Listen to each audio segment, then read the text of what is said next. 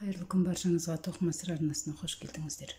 Мен айгүл нұрпейісқызы. Бүгін сіздерге мынандай тышқан үлгісіндегі стетик тоқудың әдісін көрсетемін. Бұл отыз бесінші размерге тоқылған следик следиктің тоқылуы біркелкі рельефный узормен тоқылады. Және мына мына жерден бастап тоқылып қызыл жіппен кейін былай қарай басы тоқылып мына жерге дейін одан кейін мына екі жаны бөлек тоқылады. Екі жаны бөлек тоқылып одан кейін мына жерден ілмекті іліп алу арқылы табанын тоқимыз. Табанын тоқып соңында өкшесін тоқимыз. Одан кейін тышқанның құлақтарын тоқимыз. Және көзін мұрнын түйме немесе осындай қара домалақ заттармен әсемдеп жабыстырамыз. Ол үшін бізге керегі жіп әрине ол жіп менде мынандай әлезе Лана Голчеве, 49% шерсть, 51% полиакрил.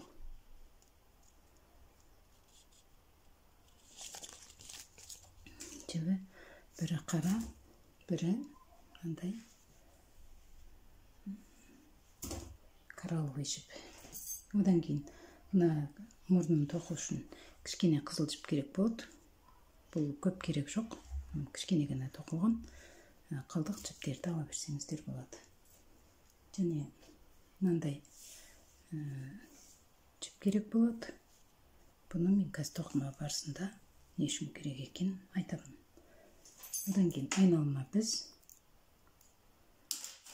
Айналма біз. Қайшы. Шұлық тоқитын екі біз. Және күршік біз және де бізге мынандай екі маркер керек болады. Маркер одан кейін мына көздеріне көзіне мұрнына мынандай домалақ немесе түйме керек болады. Және клей керек болады. Мен бұны супер клей моментпен жабыстырдым енді осы екі бізімізге мына қызыл жіптен үш ілмек іліп аламыз. Бір, бір қабат жіптен ілеміз бір қабатынан. Бір қабаты деген былай. Екі үш. Үш ілмек іліп алдық енді осыны бір қатар тоқып аламыз.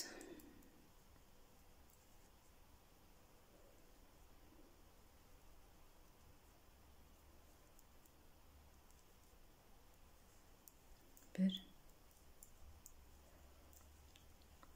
екі үш үш бір қатар тоқып алдық енді ілмектер санын көбейтеміз былай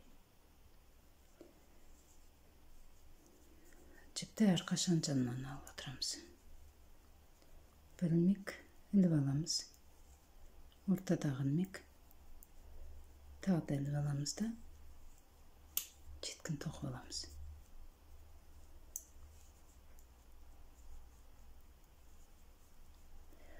теріс жағынан тоққанда осы ілмектерді тек қана тоқып аламыз. Ешқандай өзгеріссіз ілмек санын көбейтпейміз мына жаңа іліп алған ілмегіміз онда екістеп тоқимыз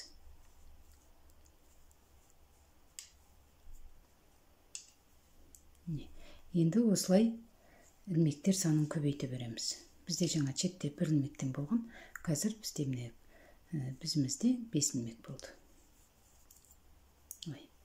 енді бір ілмек екі ілмек осыдан кейін іліп аламыз да енді шатасып қалмас үшін ортадағы ілмекті біз белгілеп мынандай маркер қойып қоямыз.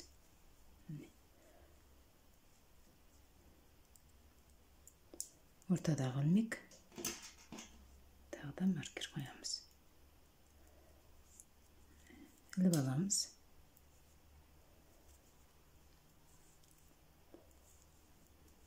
Тоқимыз жіпті жанынан жібереміз жіпті жанына қоямыз енді теріс жағынан еш өзгеріссіз тоқимыз тағы да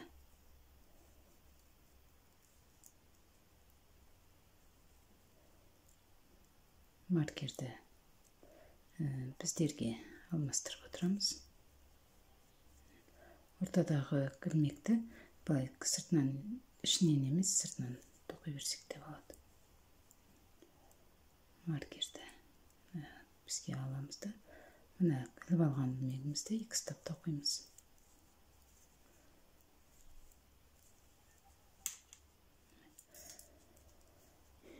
Енді мына жақтан оң жақтан тағы да ілмек іліп аламыз.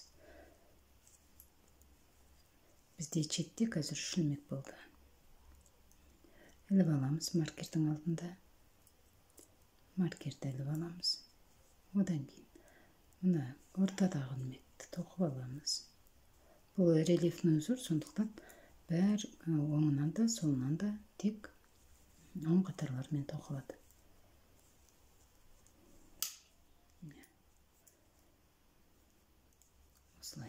Теріс жағынан тағы да еш өзгеріссіз өстіп тоқып аламыз. Екеу үшеу бізде четте төрт ілмек болды. Неміз тағы да.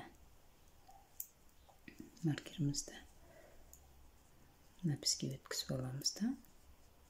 Іліп алған ілмек екі ұстап тоқимыз және төрт ілмекті оңынан тоқимыз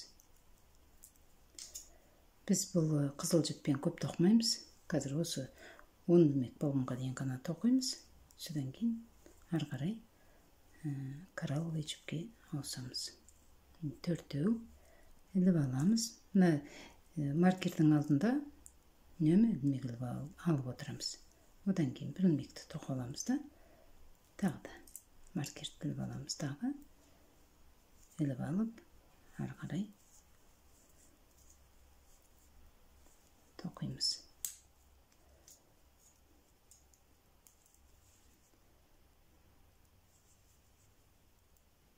жіп әрқашан шетінен алынады екеу үшеу міне төртеу бесеу бізде бір шетінде бес ілмек болды ортадағымен алтау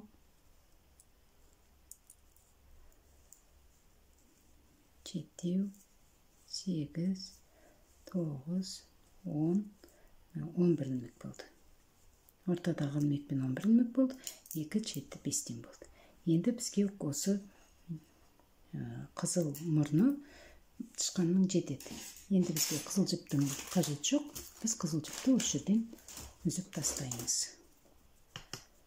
кейін жасырғанға кішкене үлкенірек аламыз осы жерден кесіп тастадық енді ары қарай мына коралловый жіпімізді қосамыз. Менде бұл жіп кішкене жіңішкелеу болғандықтан мен екі қабатынан тоқыдым. Екі қабаттап тоқыдым. Өте жіңішке өйткені міне. Енді ары қарай тоқимыз. Ары қарай да тура осылай тоқи береміз. Енді мына ілмектер саны. Мына міне шеттегі ілмек қазір бізде бесеу біреу екеу үшеу төртеу бесеу нәліп алған ілмекпен алтау болды. Енді осылайша әр мына ортадан кейінгі екі шетте 13 ілмектен болғанға дейін тоқимыз. Тура осылай. Еш өзгеріссіз ілмектер санын көбейтіп осылай тоқи береміз.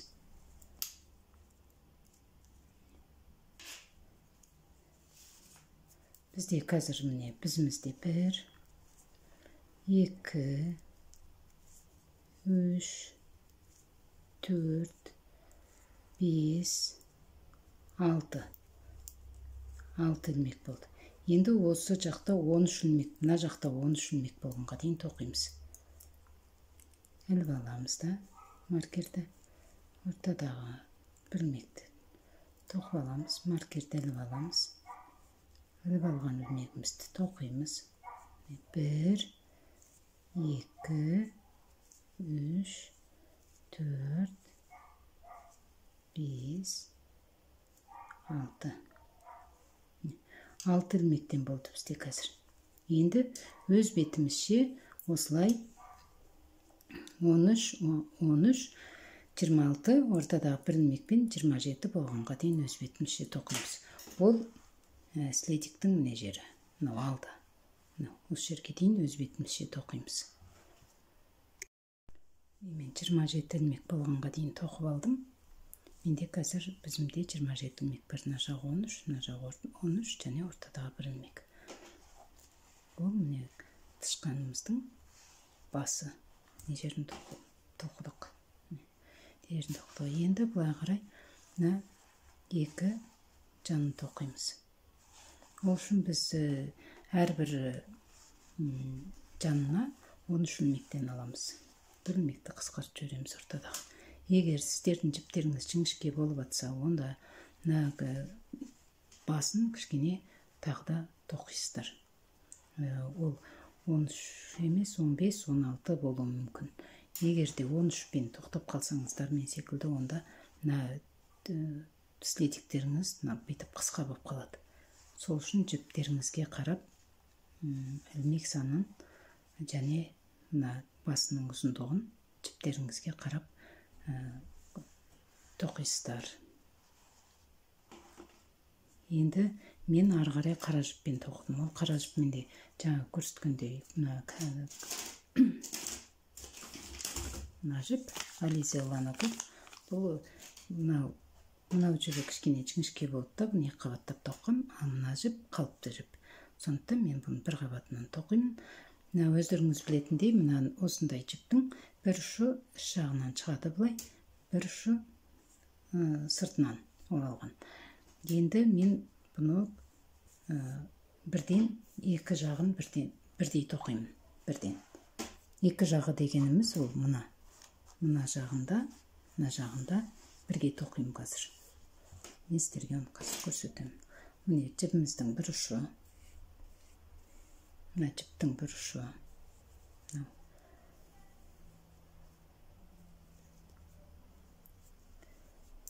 Бір ұшыменен он үш ілмекті тоқып аламыз. Бір екі үш төрт бес алты жеті сегіз. Тоғыз он он бір он екі он үш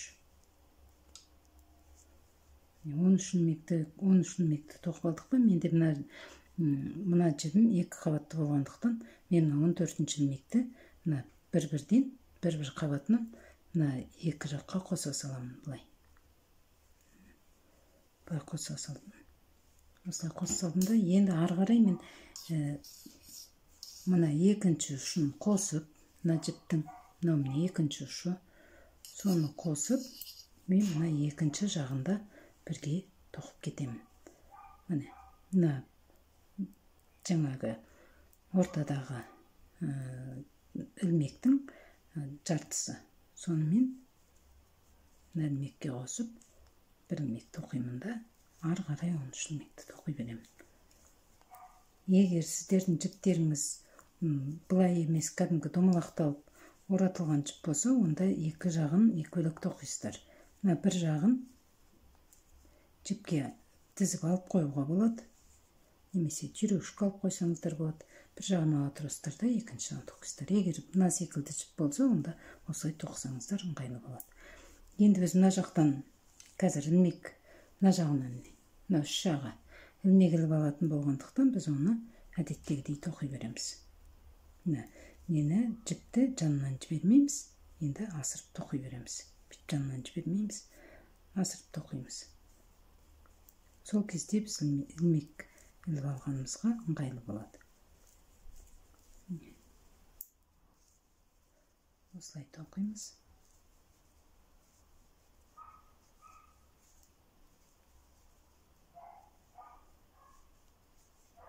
ал сонда екіге бөлінді екіге бөлінді бұл слитиктің екі жағы.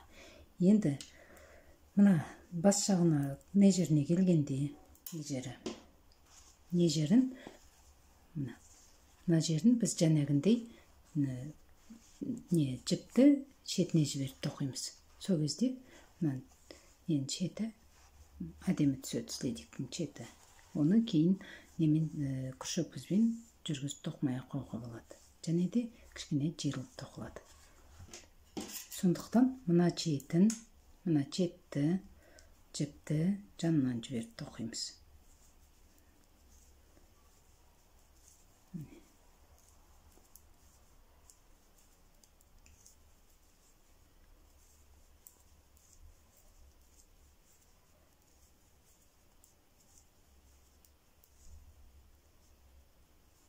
Ал мына іш жағын оны теріс тоқимыз соңғы ілмек әрқашан теріс тоқылады негізі міне бұл іш жағын жаңа айтып өттім бұл кейін біз осы жерден ілмектер іліп алып мына жері ілмектер іліп алып мына табанды тоқимыз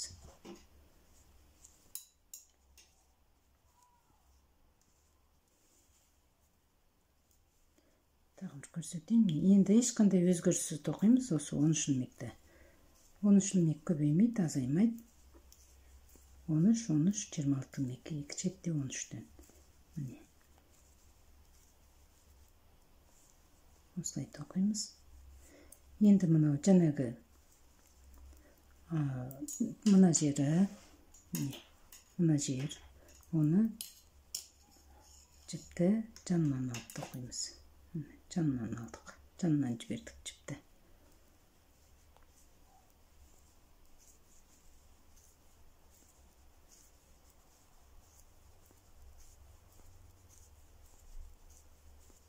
енді қанша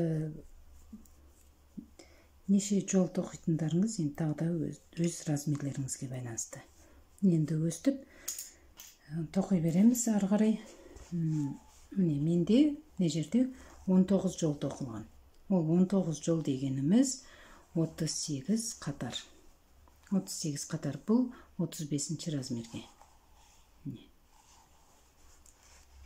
Енді ары қарай өстіп өз бетімізше тоқимыз. Өз размерімізді өз бетімізше тоқимыз. Қазір мен 19 қатар тоқып аламын содан кейін сіздерге ары қарай керек екенін. Енді мына жерде шатаспаңыздар біркелкі болсын. Міне мына жіп тұрған жақ әрқашан оң жағы болады. Сондықтан міне мына жерде біз жіп ауыстырған кезде міне ешқандай несіз әдемі түсті. Және мына қараны қара жіпке ауысқан кезде де. Ал енді іш жағын теріс жағын қарасаңыздар теріс жағы мынандай болып түседі мынандай жол түсіп қалады. Тігіс түсіп қалады. Осыны қадағалаңыздар тоққан кезде. Мынау сырт жағына түсіп қалмасын. Мына мына тігістер сырт жағына түсіп қалмасын. Оң жағына. Оң жағы осылай тоқылады. Өстіп тоқылады сол кезде. Дұрыс нетсеңіздер қадағалап отырсаңыздар не? Осылай. Енді өз бетімізше тоқимыз. Міне мен осылайша 19 жол тоқып алдым. Ол менде эстетиктің мына екі жаны тоқылды. Енді жаңа мен мынандай бір біраз жіп керек болады деп тоқыманың басында айтқан едім. Енді осы жіптің не керек екенін айтайын. Қазір мына ә, осы ә, екі шеттегі он үш ілмекті осы жіппен бүйтіп қысқартып қоямыз.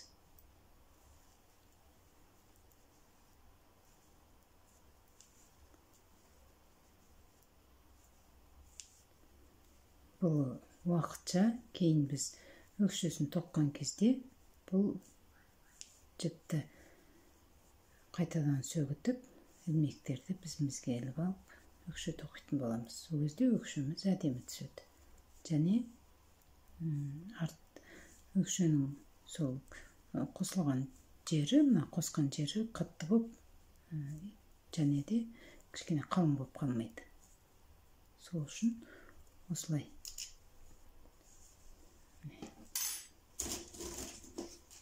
тізе тұрсақ? Тізіп ала тұрсақ өстіп қысқартып осы бізге ыңғайлы болады. Және соңғы ілмекті өйтіп кісе саламыз осылай екінші жағын өстіп қысқарта саламыз тағы да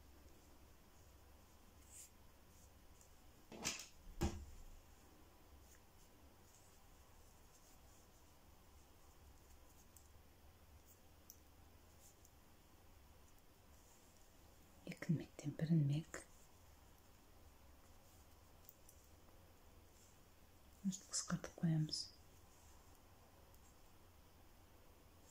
бұл ілмектер бізге сол қазір мынаны мына жерді тоққанда қайтадан керек болады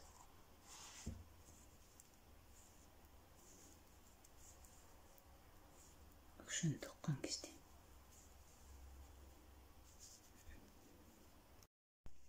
немен екі шетін жаптым енді не оң жағынан ұстап мына табанын тоқуға ілмектер жинаймыз.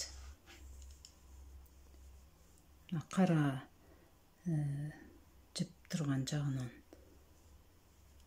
он тоғыз ілмек аламыз. Мынау бирөө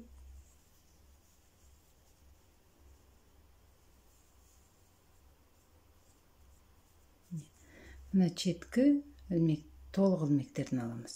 Мынау мынау жарты илмек болсо эми толук илмектен аламыз. Экөө екеу үшеу төртеу бесеу алтау жетеу сегіз тоғыз он он бір он екі он үш он төрт он бес он алты он жеті он сегіз он тоғыз он тоғыз ілмек алдық он тоғыз ілмек теріп алдық қара жіппен тоқылған жанынан енді мына қаралдан сегіз ілмек аламыз жерден біреу әрбірін ортадан ала береміз мына жерден мына жерден мына жерден осылай ала береміз біреу екеу үшеу төртеу бесеу алтау жетеу сегіз сегіз ілмек бұл слетиктің шеті енді табанға мына қызыл жіппен тоқылған жерден он ілмек іліп аламыз. Екі шетінен бестен мына шеттен бесеу мына шеттен бесеу біреу.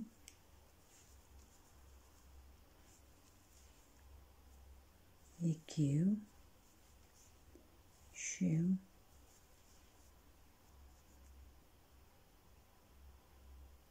Төртеу.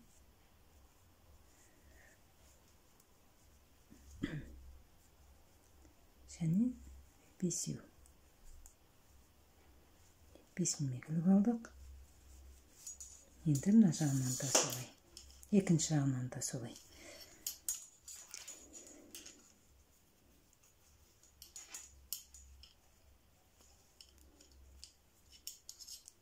екінші жағынан да енді тура осылай аламыз біреу екеу үшеу төртеу бесеу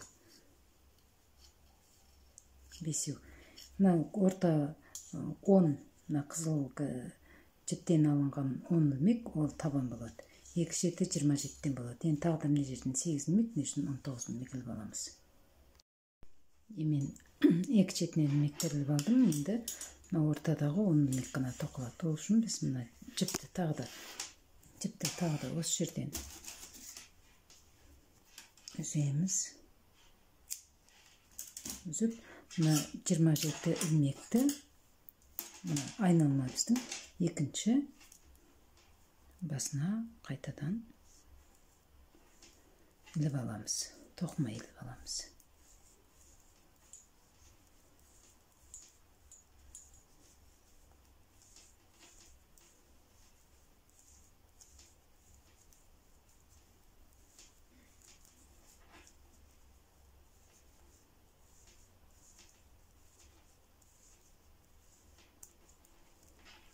Жиырма жеті тіліп алдым мен жиырма жеті ілмек тіліп алдым енді мына он ілмекті аламыз мына біздің мына жағына өткізіп аламыз екінші бетіне өткізіп аламыз он ілмекті де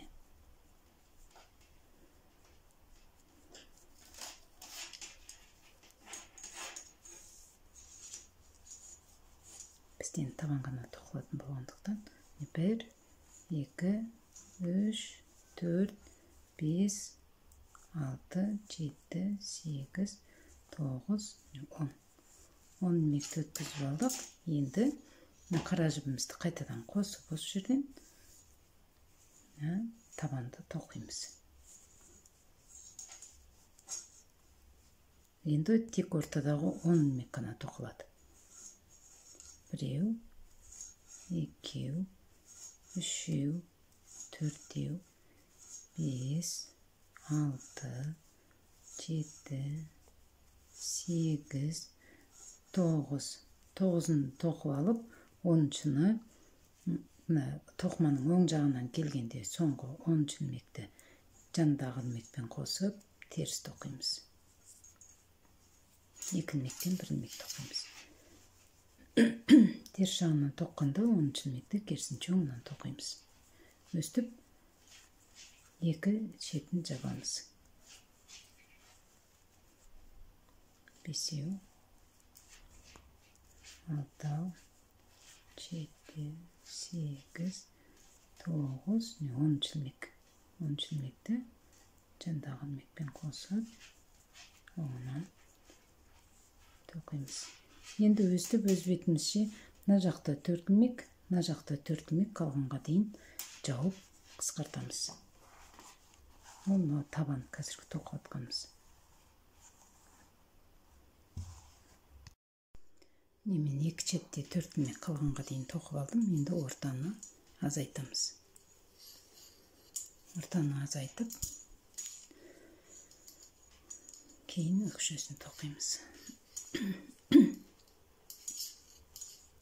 Сегіз ілмекті тоқып аламыз. Соңғы екі ілмекке дейін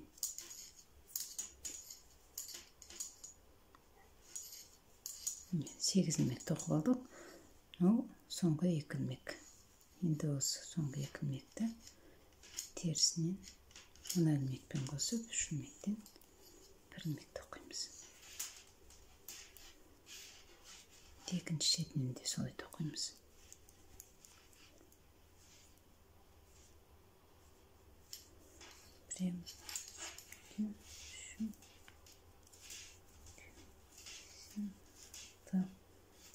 жеті тоғыз қалған мына екеуін мына қосып үшеуден бір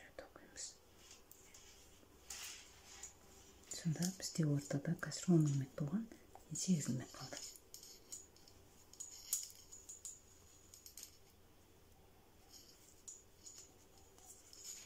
бір екі үш төрт бес алты жеті сегіз ілмек қалды енді бір рол бірден екеу ғана қысқартамыз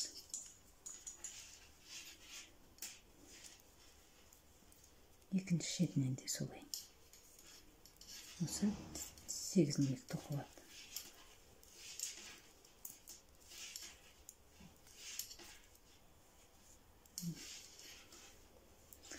енді тағы да ортаны азайтып ортадан екі ілмекті қысқартамыз. Ортадағы екі ілмек терісінен алып үш ілмектен бір ілмек тоқимыз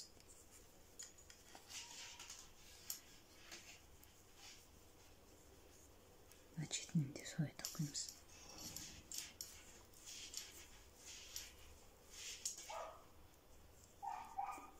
екі ортадағы және шетте біреу үшу бізде қазір міне ортада алты ілмек қалды.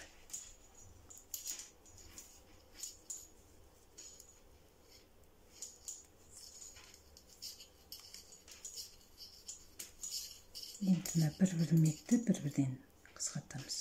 Осылай. Екеуден біреу тоқып қысқартамыз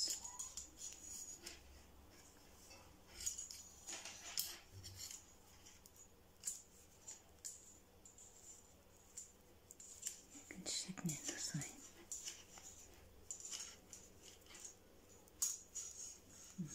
өстіп біз табанды тоқып алдық. Енді мына жаңағы мына недерді ілмектерді қайтадан бізімізге тізіп аламыз. Бұл жерде бізде 13 ілмек бар. Қай жағынан ә, тоқтаттық сол жағынан бастап қайтадан ашамыз. Бір екі үш төрт бес алты жеті сегіз тоғыз он он бір он екі он үш ілмекпіз он үш ілмек алдық енді мына жағынан да солай. Мына жағынан да солай он үш ілмекті қайтадан бізге тізіп аламыз. Міне мен без, бізге тізіп алдым мына жақта он үш ілмек мына жақта он үш ілмек тізіп алдым. Ортада бізде өкшеден табаннан қалған алты ілмек бар. Енді осы алты ілмекпен ә, енді өкшені тоқимыз. Бір екі үш төрт бес мына алтыншы ілмекті енді мына ілмектерге қосып мына шет шетіндегі ілмекпен қосып тағы да өстіп жаңа өкшені қалай тоқыдық солай жалғастыра береміз. Жалғастырып тоқи береміз да мына шетте шет әр шетте жеті ілмектен қалғанға дейін тағы да өстіп қысқарта береміз. Өкшені қалай қысқарттық солай қысқарта береміз. Ол мына жер.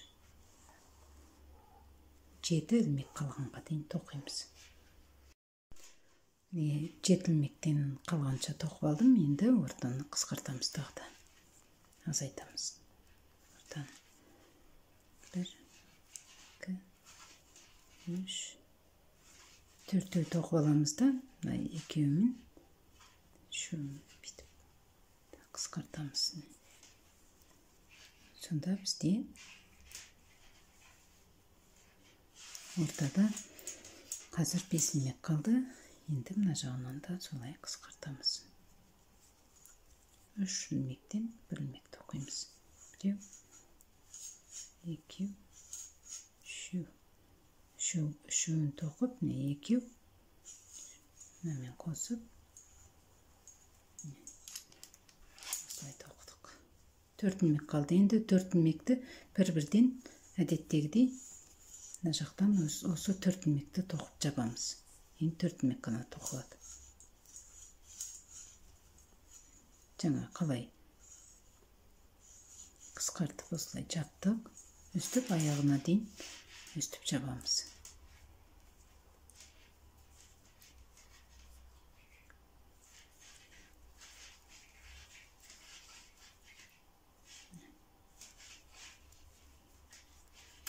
осылай жабамыз да кийин э, өстіп жабамыз. Одан кийин мына жерде эки илмек эки илмек калганга дейин жабамыз да. Одан кейін мынаны эки ортада эки илмек калганга дейин тагы да кыскартабыз эки четте эки илмектен калды. Энди тагы да ортаны кыскартабыз экөөнү тоқып алабыз да. Бизде ортада төрт илмек калган. Экөөнү токуп алып ортадағы екі імек міе шеткі бір ілмекпен қосып ілмек тоқимыз мына шетінен де солай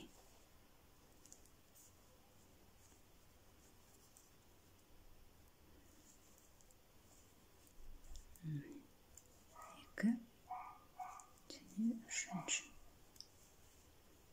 үш ілмектен ал мына соңғы қалған бір бір ілмекті оны әдеттегідей осы екі ілмекке қосып әдеттегідей жабамыз бізде терісінен тоқылады және бір ілмекті тоқымай аламыз дағы соңғы екі ілмекті жабамыз міне осылайша біз мынандай қылып өкшені тоқып алдық енді мына екі ілмегімізді қысқарта саламыз. Екі ілмектен біреу тоқып қысқартып жіпті осы жерден қиып кейін ішіне қарай жасырамыз.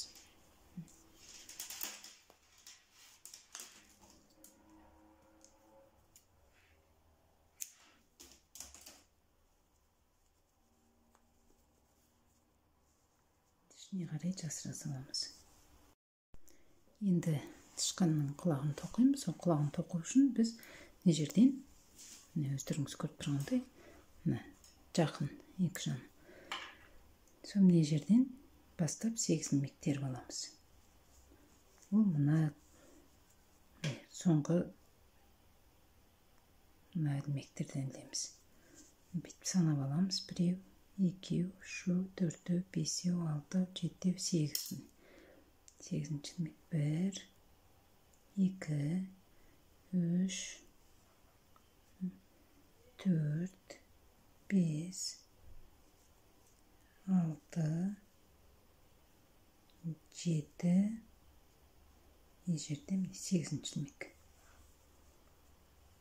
сегіз ілмек іліп алдық енді мына коралл жібімізді қайтадан осы жерде қосып коралмен тоқимыз бір екі үш төрт бес алты жеті е сегізінші ілмегіміз сегіз ілмек тоқып алдық енді осыны теріс жағынан тағы да бір қатар тоқып шығамыз жіпті жанынан алып отырамыз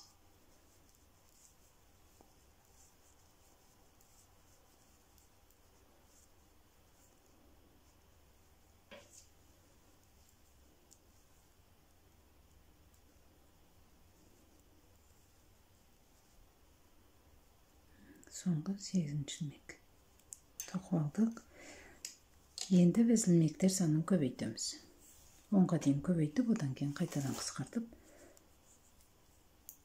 тоқимыз міне біріншіні іліп аламыз тағы да жіпті жанынан жіберіп кішкене тартыңқырап тоқимыз құлақты енді мына бір ілмектен екі ілмек тоқимыз ол үшін астыңғы жағынан бір аламыз да тоқып аламыз да бір ілмектен екі ілмек тоқтық екі үш төрт бес алты не тағы да соңғының алдындағы ілмектен бір ілмектен екеу тоқимыз. Сонда бізде қазір бізде он ілмек болды. Он ілмек осы он ілмекті теріс жағынан тағы тоқып аламыз өте бос қылып тоқымаймыз. Кішкене қаттылау тоқимыз құлақты.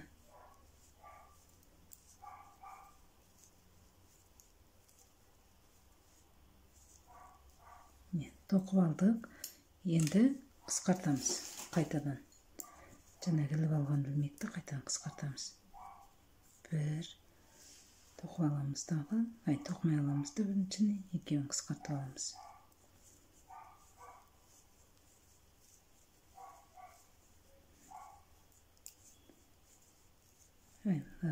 Соңғы екеуін тағы қысқартамыз басынан және соңынан соңғы екеуін қысқартып отырамыз сонда бізде қайтадан сегізілмей қалды бізімізде сегіз ілмек екі төрт алты сегіз ілмек бұны теріс жағынан қайтадан тура осылай тоқып аламыз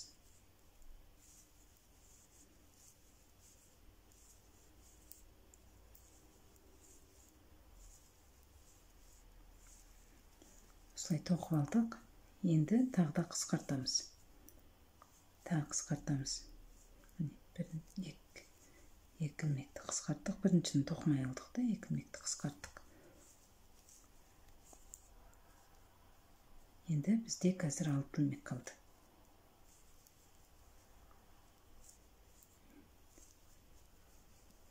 Осылай қысқартып алдық. Теріс жағынан тағы да бір тоқып аламыз.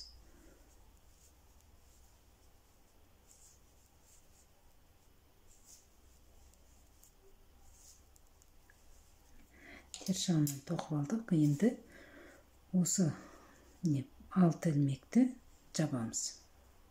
Қысқартамыз жабамыз. Ол үшін менде мынау жіп екі қабат болғандықтан мен бір қабатынан жабамын екі қабатынан жапсам ол кішкене не болып кетеді.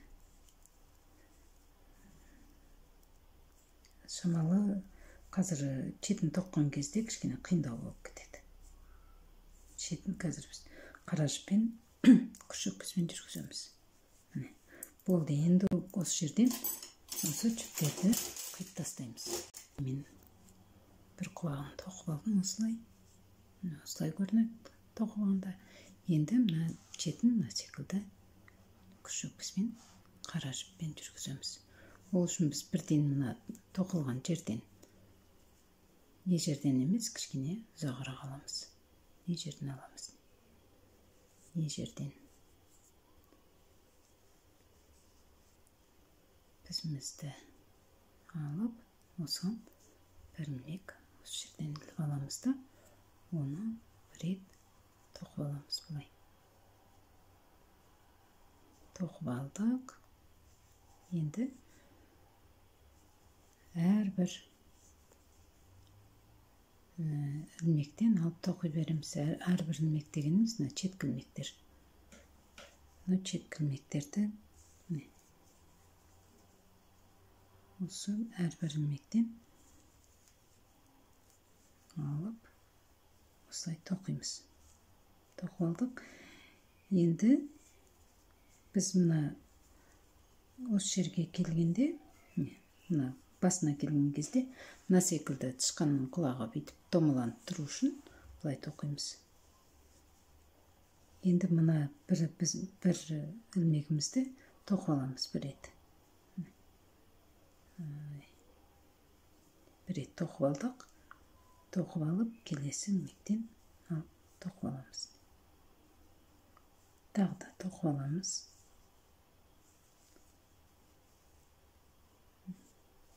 Тоқимыз тоқып аламыз да келесі ілмектен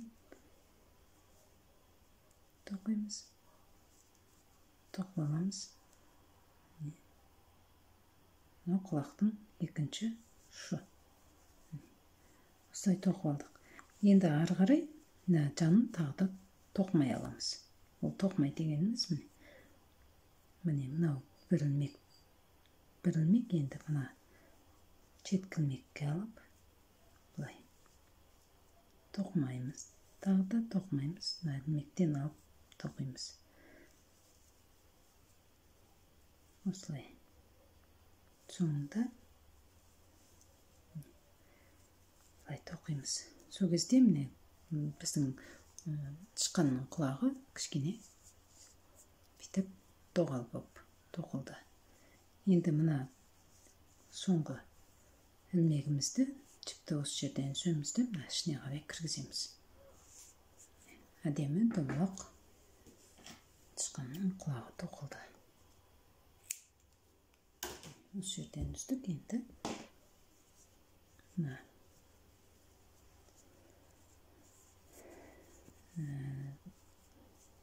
ілмегімізді жіптен өткізіп оны былай ішіне қарай шұлықтың ішіне қарай кіргіздік сонда кішкене құлақ тышқанның құлағы домалақталып тоқылды. Енді мына жағында өстіп іс жағына кіргіземіз. Енді осылайша мына жерден тағы да сегіз ілмек іліп алып мына жерден бастап міне мына ілмектен бастап мынадан бастап мына жерден. Бір екі үш төрт бес алты жеті сегіз деп. Сегіз ілмек іліп алып тағы да екінші құлағында тура осылай өз бетімізше тоқимыз міне мен тышқан үстіндегі следиктің екінші парында тоқып алдым. Өткен жолғы видеода мысық следик тоққанбыз енді мысық болғаннан кейін тышқанда керек деп қыздар сұрағаннан кейін мен осындай бүгін тышқан тоқыдым енді бұл видеодан сіздерге түсініксіз жерлер болса сұраңыздар комментарий жазыңыздар лайк басып арнаға тіркелуді ұмытпаңыздар. Тіркеліп менімен бірге тоқып жатқан қыз келіншектерге сіздерге рахмет айтамын жазып жатқан комментарийлеріңізге жақсы сөздеріңізге рахмет. Алдағы уақытта да әлі қыздардың өтініштері бар. Жакет тоқығысы келетін және де башка буюмдарды окугусу келген кыздардын өтініштері жоопсуз калмайт аны э, болашақта тоқитын болобуз видеону соңуна дейін көргөндөрүңүзгө рахмет. Сау саламатта болуңуздар